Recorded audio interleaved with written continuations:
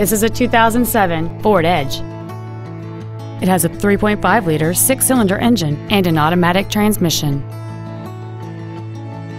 Its top features include a multi link rear suspension, a low tire pressure indicator, traction control and stability control systems, aluminum wheels, and many other features. The following features are also included cruise control, an auto dimming rear view mirror, front and rear reading lights, a CD player, a leather wrapped steering wheel, four wheel independent suspension, a chrome grille, dusk sensing headlights, privacy glass, and a rear spoiler. Contact us today to schedule your opportunity to see this automobile in person.